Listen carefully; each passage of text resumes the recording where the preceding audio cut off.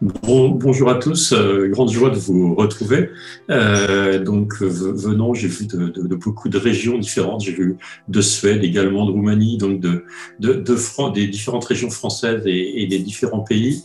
Donc on, est plus de 300. Donc c'est une grande joie. Bien sûr que la joie, elle aurait été supérieure de vous accueillir à Montpellier il y a un peu plus d'une quinzaine de jours. Mais j'ai vu que Franck Espinas était là et, qu'il disait que Montpellier était bien vivant. Donc on, on est déjà rassuré que Montpellier soit bien vivant. Euh, donc le, mercredi soir, quand l'annonce du président de la République euh, nous, a obligés, à, nous a contraints à annuler ces assises-là, mon objectif, ça a été très vite de communiquer dans, dans la soirée. Et dès le lendemain matin, j'ai pris le train le plus tôt possible pour aller réconforter les équipes de Montpellier.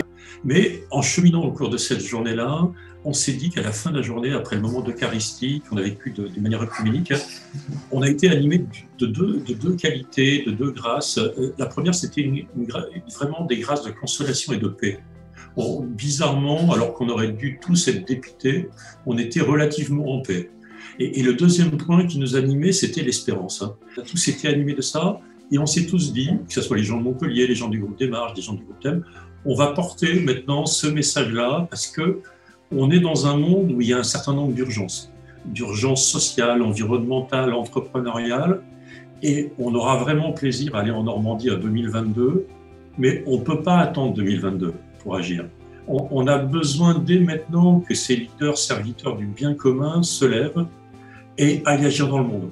Donc, euh, et on s'est dit qu'il allait falloir organiser quelque chose. Et il nous a fallu une semaine pour rebondir, parce que initialement, on pensait tenir des assises digitales dès Montpellier le jour même, mais le quorum étant fermé complètement, on n'avait pas de possibilité de tenir le digital. Et donc, on s'est dit, on va s'y prendre différemment, et en partenariat avec le groupe des marches et, le, bureau restreint, on s'est dit, on va, on va tenir un parcours de huit soirées qui va venir déjà s'additionner à tout le travail qui a été fait dans les équipes pour préparer à partir de la smartphone ces assises-là. Et ben, on va tous faire l'effort, sans cet effet tremplin, sans cet effet de levier, de devenir ces acteurs, leaders du bien commun dont le monde a besoin. Donc, on est décidé ce soir vraiment à donner cette impulsion-là, à ce que vous puissiez la relayer en équipe. L'avantage, c'est que des vidéos, c'est que ça pourra être repris également dans les équipes. Et on s'est dit, ben, ces huit soirées, elles vont pouvoir être des temps de partage réguliers dans les équipes et ça va permettre de cheminer euh, donc au niveau des équipes. Donc, nourrir, cheminer, c'est ce qui nous anime ce soir.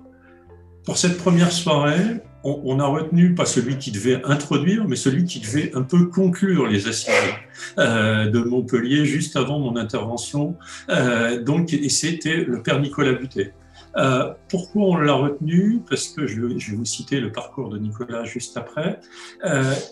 on s'est dit qu'il fallait quelqu'un qui puisse nous lire les signes des temps et tout son parcours autour de philanthropos et autres fait de lui un acteur soucieux de l'analyse des signes des temps. Donc, et c'est quelqu'un que, dont je sais qu'il est profondément animé d'espérance et on a besoin demain de cette intelligence et de cette espérance et ce sera la somme des deux qui va nous permettre d'être ces acteurs du bien commun.